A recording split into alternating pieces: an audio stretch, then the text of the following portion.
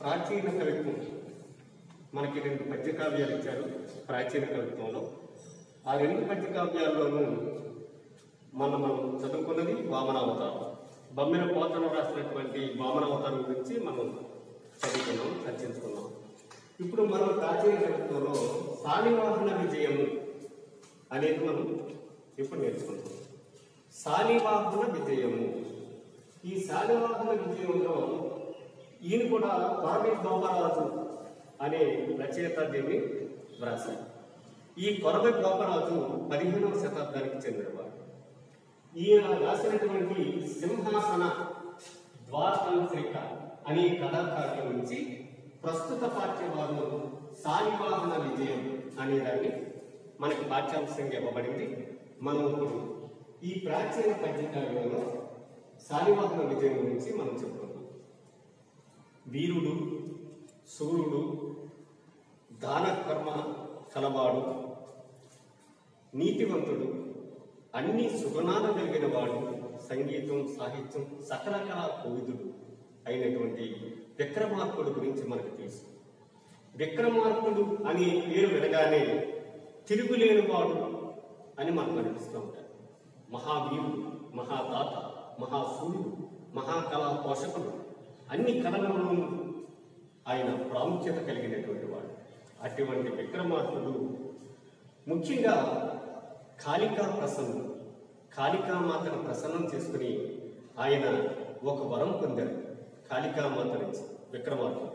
ఏమిటా వరం అంటే తనకి ప్రాణహాని ఉండకూడదట ఒకలేక తనకు ప్రాణహాని ఉన్నట్లయితే ఒక సంవత్సరం మీద ఒక రోజు అంటే ఏడాది మీద ఒక రోజు వయసు కలిగిన కన్యకకు జన్మించిన బాలుడు వల్ల తప్ప తనకు ప్రాణహాని ఉండకూడదు అని ఉజ్జయిని మాత్రం కోరాడు.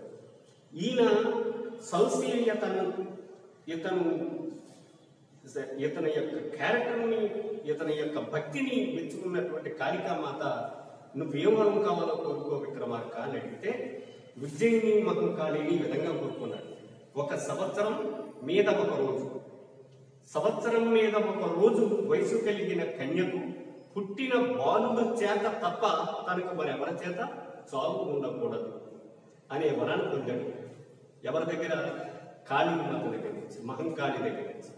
అలాగే భేతాళుడు భేతాళుడు అనేవాడికి వంద ప్రశ్నలకు సమాధానం చెప్పి వంద చిక్కు ప్రశ్నలకు సమాధానం చెప్పి భేతాలను వసపరుచుకున్నాడు ఈ విధంగా విక్రమార్కుడు ఇటు మహంకాళిని అటు బేతాళుని ప్రసన్నం చేసుకుని దేదీప్యమానంగా తన పరిపాలన చేస్తూ ఉన్నాడు ప్రజారంజకంగా తిరుగులేని పాలన సాగిస్తూ ఉన్నాడు ఉజ్జయిని రాజధానిగా చేసుకుని. ఇలా ఉండగా ఇంద్రుడు రంభ ఊర్వశి వీరిరువుల్లోనూ భూలోకంలో విశ్వామిత్రుడు తపస్సు చేసుకుంటున్నాడు. ఆ విశ్వామిత్రుడు తపస్సును భంగపరచడానికి ఊర్వశిని గాని రంభను గాని పంపించాడు ఈ రంభ ఊర్వశి చేత నాట్యం చేస్తాడు ఇంద్రుడు. తనకు ఇద్దరు సమానంగానే నాట్యం చేస్తూ ఉంటారు. రంభ ఊర్వశి కూడా. అయితే వీళ్ళిద్దరిలో ఎవరు గొప్ప అని తెలియట్లేదు.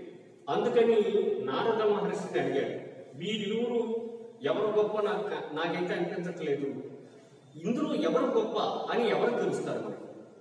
అన్నాడు అప్పుడు నారదుడు అంటాడు భూలోకంలో విక్రమార్కుడు అనేవాడు ఉన్నాడు ఉజ్జయిని పరిపాలిస్తున్నాడు. అతన్ని ఇక్కడికి రప్పించినట్లయితే వీరు రంభ ఊపసులోను ఎవరు నాట్యంలో ప్రావీణ్యులో అతను ఎంపిక చేస్తారు అని చెప్తాడు. అప్పుడు మాతలి అనే అతన్ని ఇంద్రుడు భూలోకానికి పంపిస్తాడు. మాతలి భూలోకానికి వెళ్ళి విక్రమార్కుడిని ఇంద్రుడు పిలుస్తున్నాడు ఇది విషయం అని చెప్తాడు. సర్లేని విక్రమార్కుడు ఇంద్రుడైనటువంటి వాడు పిలిస్తే వెళ్ళకుండా ఉంటాను అని చెప్పేసి విక్రమార్కుడు స్వర్గలోకానికి బయలుదేరుతాడు స్వర్గ స్వర్గలోకంలో ఇంద్రుడు మంచి స్వాగత సన్నాహాలు చేస్తారు విక్రమార్కుడికి. ఒక వెంటనే ఒక కళావేదిక మీద అటు రంభ ఊర్వశి ఇద్దరు నాట్యం చేస్తూ ఉంటారు. అప్పుడు శాస్త్రీయ అశాస్త్రీయ విషయాలన్నింటినీ జోడించి తాను ఊర్వశి బాగా నాట్యం చేస్తుంది అని చెప్పాడు. ఎందుకని ఇంద్రుడు అడిగాడు? అప్పుడు ఇంద్రుడికి సమాధానం చెప్పాడు విక్రమార్కుడు. ఓహో విక్రమార్కుడు చాలా కటికుడు అని విక్రమార్కుడికి ఒక సింహాసనాన్ని మరో దివ్యాభరణాన్ని ఇచ్చి భూలోకానికి పంపిస్తాడు. ఆ సింహాసనం పేరే సింహాసన ద్వాత్రింశిక సింహాసన ద్వాత్రింశిక. ద్వా అంటే రెండు త్రింసిక అంటే ముప్పై. అంటే ముప్పై రెండు సాలభంజికల సింహాసనం. సాలభంజికలు అంటే ముప్పై రెండు మెట్లు ఉంటాయి ఆ సింహాసనానికి. ఆ ముప్పై రెండు మెట్ల గుండా ఒక్కో మెట్టు గుండా ఒక్కో సాలబంజిక ఉంటుంది అది విక్రమార్కుని యొక్క కీర్తిని తెలియజేస్తూ ఉంటుంది. అంటే ముప్పై రెండు రకాలుగా విక్రమార్కుని యొక్క కీర్తిని లేకపోతే యశస్సును తెలియజేసే సింహాసనాన్ని ఇంద్రుడు విక్రమార్కుడికి భూకరించి భూలోకానికి పంపిస్తాడు. ఈ సింహాసనంతో పాటు ఒక దివ్య ఆభరణాన్ని కూడా అందజేస్తాడు. ఇలా అంటే ఈ సింహాసనం మీద విక్రమార్కుడు వెయ్యి సంవత్సరములు దేదీప్యమానముగా పాలన సాగించవచ్చు. అయితే విక్రమార్కుడు వెయ్యి సంవత్సరాలు కంటిన్యూస్లీ పాలన సాగించవచ్చు. కదా? అప్పుడు విక్రమార్కుడు ఏం చేస్తాడంటే సంవత్సరంలో ఆరు నెలలు మాత్రమే సింహాసనం మీద కూర్చుని మిగతా ఆరు నెలలు పాదయాత్రలు చేస్తూ ఉంటాడు. అంటే ప్రజలు ఏ విధంగా ఉన్నారో పర్యటన చేస్తూ ఉంటాడు. ఆ విధంగా వెయ్యి సంవత్సరాలకు బదులు రెండు వేల సంవత్సరాల పాలన సాగిస్తాడు విక్రమార్కుడు. ఎటువంటి విక్రమార్కుడైనా కాలం కలిసి రానప్పుడు ఏమీ చేయాలి కాలానికి అందరూ అందరూ కూడా కట్టుబడి ఉండవలసింది. అలాగే విక్రమార్కుని జీవితంలో కూడా కాలం గడ్డు పరిస్థితిని తీసుకొచ్చింది. ఇటువంటి విక్రమార్కుడు చరిత్రను మనం ఇప్పుడు చెప్తున్నాం. విక్రమార్కుడు ఎటువంటి వాడో కొరవి గోపరాజు గారు ఈ పద్యం ద్వారా మనకు చెప్పారు. సజ్జిత దాన ధర్మ గుణచారుడు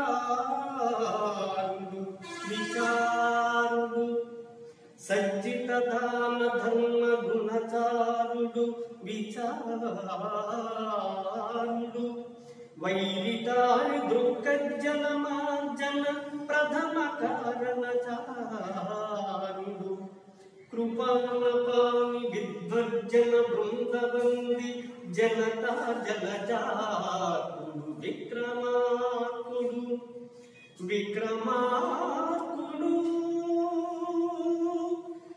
ఉజ్జయని పురంబున నయోన్నతి రాజ్యం సేయుచుండగం ఆ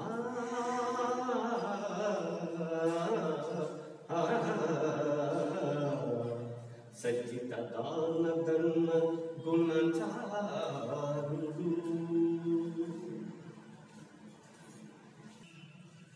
అష్టభాషా విశారదుడైన కొరవి గోపరాజు పదిహేనవ శతాబ్దానికి చెందినవాడు అని మనకు తెలియవస్తోంది.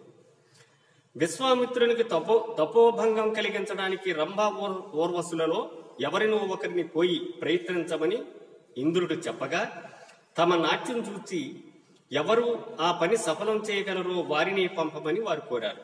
వారి నాట్యాన్ని ఇంద్రుడు చూచి తారతమ్యాలు నిర్ణయించలేక నారదులతో సలహాతో మాతడి చేత విక్రమార్కుడిని పిలిపించాడు. అప్పుడు విక్రమార్కుడు ఉజ్జయినిని వైభవపేతంగా పాలిస్తున్నాడు.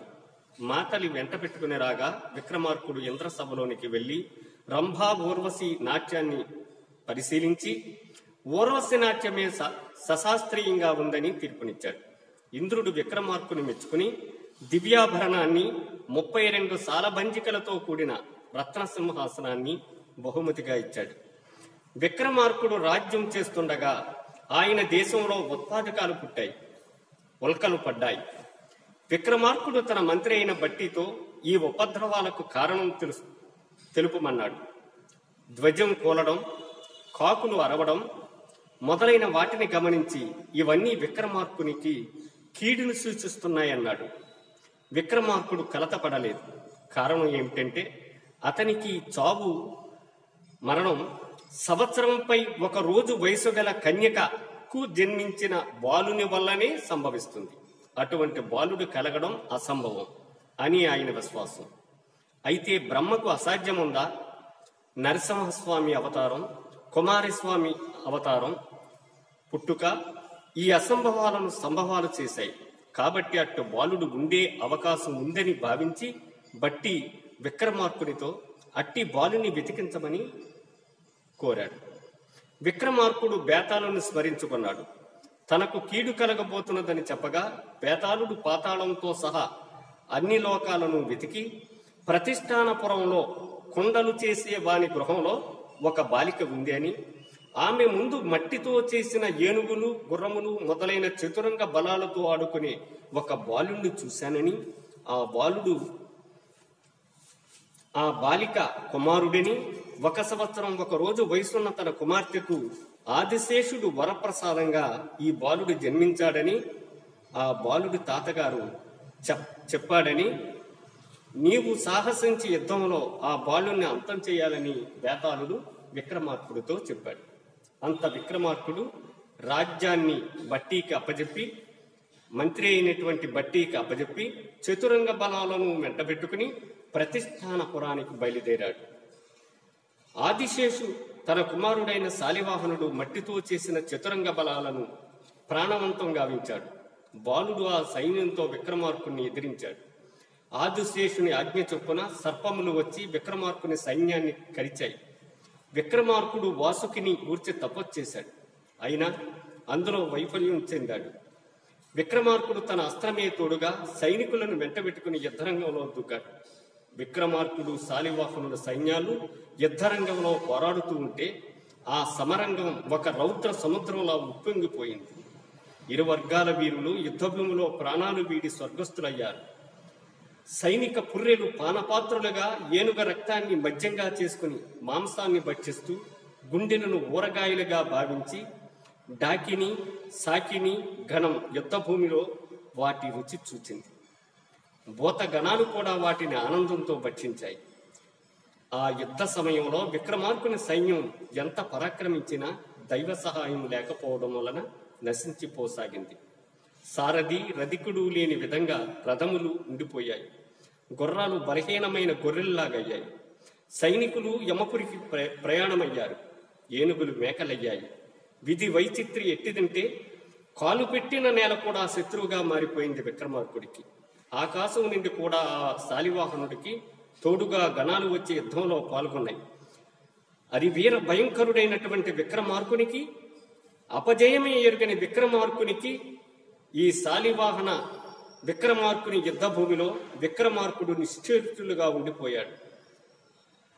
సైనికులను కోల్పోయాడు. కాలగమనాన్ని ఎవరూ ఆపలేరు. శివుడు కూడా కాలకర్మానికి కట్టుబడవలసింది. సైనికులు చావగా విక్రమార్కుడు ఒక్కడే అస్త్రాన్ని చేతబట్టి శాలివాహనుడికి ఎదురుగా నిలబడ్డాడు. దాంతో శాలివాహనుడు తన దుట్టుకర్రతో విక్రమార్కుని శిరస్సును కొట్టాడు. వెంటనే విక్రమార్కుని శిరస్సు ఉజ్జయిని నగరంలో పడిందని విక్రమార్కుని దేహంలో నుంచి శరీరంలో నుంచి ఒక గొప్ప కాంతి ప్రకాశవంతంగా లేచి ఆకాశంలోకి వెళ్ళి సూర్యునిలో లీనమైందని మనకు కవి కొరవి గోపరాజు గారు చెప్తారు. ఈ పద్యాలు ప్రతిపదార్థాలు తర్వాత క్లాస్లో చెప్పుకుందాం.